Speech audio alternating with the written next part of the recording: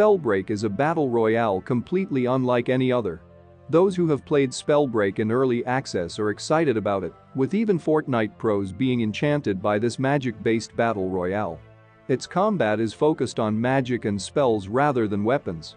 This can make it a little intimidating for new players who are comfortable with other battle royale titles. This beginner's guide to Spellbreak will cover everything you need to know to start playing Spellbreak. While the game has a lengthy tutorial, it far from teaches you everything you need to know. There are a lot of key things that beginners in Spellbreak should know before they start to jump into a load of matches.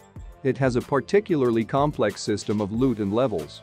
It emulates an RPG, all within a single battle royale game.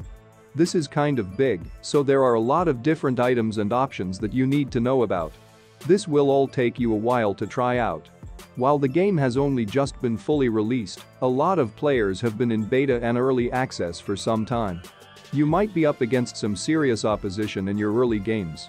So, you need to take some time to familiarize yourself with it. This beginner's guide to Spellbreak will run through the basic mechanics and what you need to know before you start to play. The first thing you need to do is optimize your settings, then you can start learning the game. Beginner's Guide to Spellbreak The Basics. When you first load into Spellbreak, you see the options for games you can play. This will be familiar, there is duos, squads, and solo. At launch, only squads are currently available. This is probably a matchmaking thing. However, all modes have been playable extensively in the past. Once the launch period is over we can expect the others to be enabled pretty quickly. The first time loading up is going to be a fairly tedious tutorial, just get through it and try to soak up the basic information. Once you're finished you now have access to a practice area if you head into there, you can see that the options and items are much more complicated than they initially seem. You have choices of gauntlets, equipment, runes, and even scrolls to power up over the course of a game. If you want to win games, you've got to use all of these to their best effect. The classes for your character in Spellbreak have been beefed up since the beta, they're now a major part of the game. When you launch into the practice area or a full game, you're going to have to pick a character class first. This isn't permanent so don't worry too much. It does however lock you into using one type of gauntlet.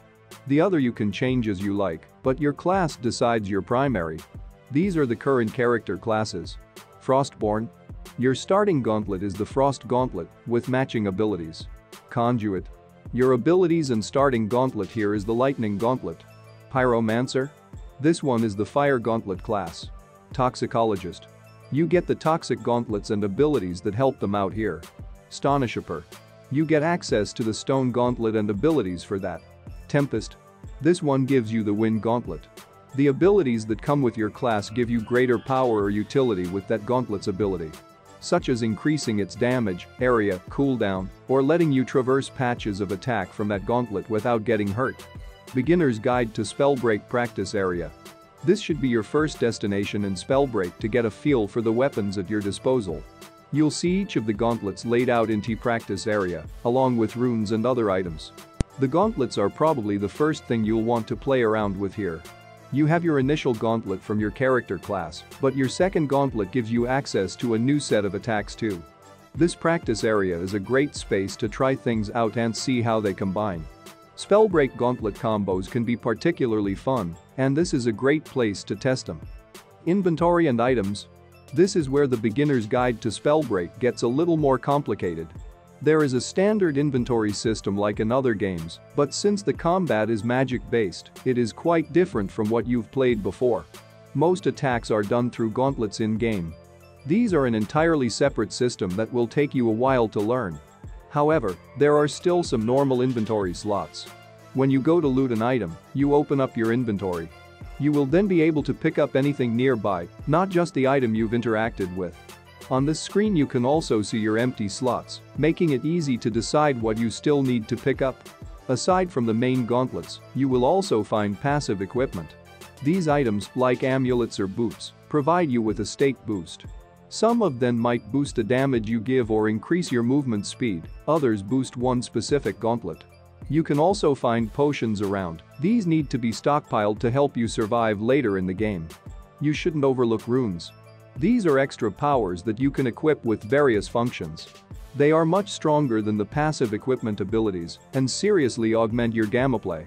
Some provide teleportation, others invisibility, and even flight. You need to play around in the game a bit before you decide which runes suit your playstyle. You should be trying to match your runes to the gauntlets that you're going to be using. Beginner's Guide to Spellbreak Gauntlets. Your main weapon in Spellbreak is gauntlets. You can equip two of these, one to your left hand and one to your right. Similar to how Moira plays in Overwatch, but it is a lot deeper than simply one attack on each. You can try out each gauntlet in the practice mode before starting a game, you need to do this. Being more comfortable with the gauntlets is essential. It takes a while to master each one, so you need to know which gauntlet you're going for. Each gives you one power, which can then be combined with the other power for better effect. For each gauntlet, you have a primary attack and a secondary. The first can be fired quickly, the second is more of special ability with a cooldown.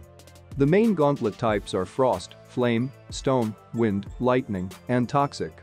The Lightning Gauntlet allows you to fire out electric bolts rapidly at other players. Toxic Gauntlet fires a toxic puddle that will gradually damage players. Wind Gauntlet release gusts of wind at other players. The Stone Gauntlet uses a ground pound attack that shakes the earth and attacks in a line in front of you. The Frost Gauntlet is the closest thing Spellbreak has to a sniper. It fires a fast and long projectile that can be charged for more range. It also leaves a trail of ice behind it. The Flame Gauntlet allows you to shoot out some hard-hitting fireballs.